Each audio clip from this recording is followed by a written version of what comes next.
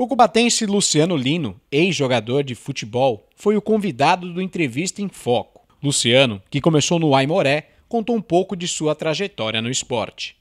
Teve um campeonatinho entre nós mesmo no final do ano, com um biscoito, e eu acabei chegando atrasado. E meu time estava perdendo de 5 a 0 cheguei atrasado. Uau. E quando entrei, fiz seis gols, virei o jogo. Só que eu sozinho isso? fiz seis gols. E dali que despertou ali, o biscoito começou a me colocar e comecei a virar titular do Aimoré. E dali que foi a engrenagem para ir embora. Caramba, olha só. Do Aimoré, fui pro Santos, fui pro Gremetal e dali começou. Sempre ali no futsal? Sempre no futsal. Com 14 anos que eu fui pro Santos no campo, né? Uhum. Só que nada não deu certo.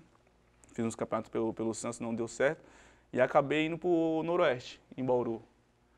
Aí lá, fiquei também um ano, tudo mais, também não deu certo. O que acontece? Cheguei bem, mas se acomodei. Uhum. Aí voltei e, e aí vim para a seleção de Cubatão, que é a SEMES, né? Com o Finado Nar, uhum. que foi um ótimo treinador, que até hoje para mim foi o melhor treinador que eu tive na minha, na minha vida. O jogador se destacou atuando em São Vicente e após um convite, Lino foi jogar fora do país. E dali que eu recebi uma proposta do amigo meu que estava na Albânia, na Europa. Luciano, quer vir para cá? Me dá o teu DVD. Aí eu mandei DVD, o presidente adorou. Mandou minha passagem, mandou tudo. Passagem, comprou tudo. É, o contrato do clube, porque uhum. quando chegar no, no, aeroporto tem que ter o contrato do clube, senão tu não, não, passa. Uhum. Aí fui embora para Albânia.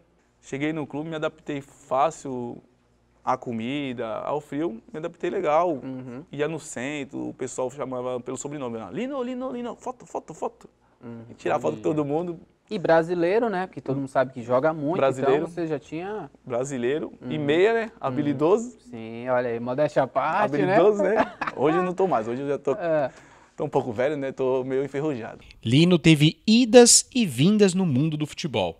E depois de uma passagem com muito sucesso no futebol do Paraná, ele foi parar na Suécia. Fui para a Suécia, cheguei na Suécia, outra estrutura, mundo, país de, de primeiro mundo. Sim, sim. Lá tu, tu vai no mercado assim, pode deixar a porta aberta, ninguém mexe. Segurança extremamente assim. Lá estrutura, estádio, primeiro, primeiro no tá top. Vendo? Fui bem no, nos treinamentos, estava em avaliação, teve um amistoso, dei passe para gol e tudo mais, falei, fiquei. Fiquei. Assinar contrato, recebi chuteira da Nike, Fiquei. Quando chegou para assinar o contrato, a Federação da Suécia me muda a janela de transferência para dois dias antes. E no dia que eu ia fazer a transferência, eles adiaram para dois dias antes, então quer dizer, a janela fechou, não podia assinar mais, tinha que voltar para o país.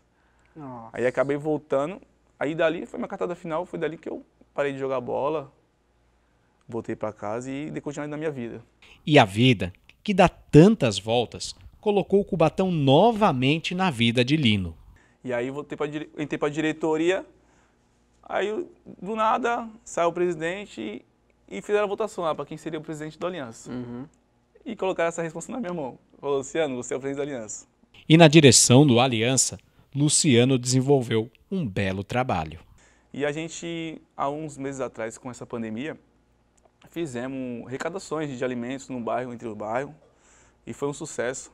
Saímos em porta em porta arrecadando alimento com a equipe da Aliança e amigos e conseguimos arrecadar mais de conseguimos arrecadar muito alimento, conseguimos fazer 82, 83 cestas e conseguimos ajudar muitas pessoas carentes no não bairro. Não é só futebol, né? Não é só futebol. Eu, uhum. eu assim, eu sou, sou uma pessoa muito humilde, muito carismática e muito boa e eu sempre pensei no próximo.